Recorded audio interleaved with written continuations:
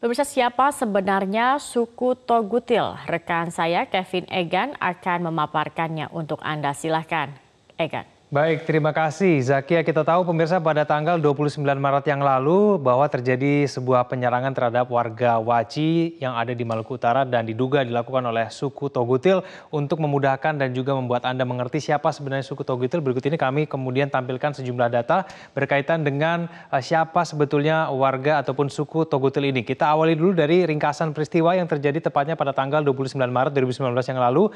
Ada tiga dari lima warga desa Waci yang tewas tewas diserang pada saat pulang berburu di hutan oleh suku Togutil. Dua di antara mereka berhasil menyelamatkan diri dan menurut informasi yang sudah disampaikan oleh pihak polisi, uh, warga ataupun suku dari Togutil ini melakukan penyerangan karena mereka merasa terusik dengan adanya warga yang memasuki wilayah mereka. Tidak hanya kemudian melakukan penyerangan, mereka juga melakukan perampasan hewan buruan dan juga hasil kebun. Ini terjadi di Halmahera Timur dan suku Togutil ini memang disebut sebagai salah satu suku yang kemudian uh, termasuk termasuk primitif di sana. Dan data selanjutnya kemudian kita akan mencermati mengenai siapa sebenarnya suku Togutil ini. Suku Togutil ini berada di pedalaman hutan Halmahera Utara dan Tengah. Warga setempat menamai mereka sebagai suku Togutil yang artinya adalah primitif. Mereka memiliki sejumlah cara yang mereka gunakan secara tradisional untuk melakukan uh, untuk untuk bertahan hidup begitu ya. Nah, kemudian informasi selanjutnya kita akan melihat bagaimana kebiasaan-kebiasaan dan juga perilaku yang dilakukan oleh suku Togutil ini. Yang pertama adalah suku Togutil ini berpindah-pindah. Mereka mencari makanan dari sagu, mereka melakukan pemburuan untuk bertahan hidup dan juga mencari ikan. Mereka sering mendatangi perkampungan warga untuk meminta makanan. Kalau kita cermati dari data-data berikut ini, mereka memang menunjukkan bahwa suku yang sangat primitif, mereka melakukan cara-cara tradisional untuk bertahan hidup.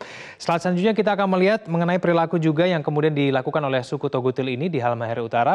Mereka ini belum mengenal peradaban masyarakat, mereka memiliki bahasa suku sendiri dan jika melihat warga masuk hutan mereka akan mengikuti dari belakang dengan harapan dapat uh, sisa makanan. Sebetulnya ada juga bantuan-bantuan yang diberikan oleh uh, masyarakat setempat di Maluku Utara untuk diberikan kepada uh, suku ti, Togutil ini. Kalau Anda mencermati mengenai sejumlah media sosial seperti YouTube begitu ya, maka Anda dapat menemukan sejumlah sejumlah video-video yang menunjukkan bahwa sebetulnya ada bantuan juga yang kemudian diberikan oleh masyarakat sekitar untuk ke suku Togutil ini.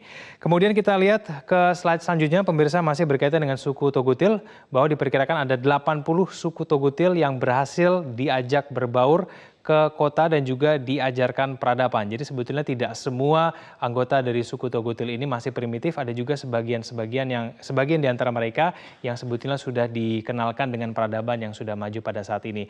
Dan pemirsa berikut ini kami akan memutarkan rekaman kunjungan aparat Kodim 1505 Tidore ke pedalaman hutan Halmahera yang ketika mereka bertemu dengan suku Togutil pada tanggal 11 November 2018 yang direkam oleh salah satu anggota TNI.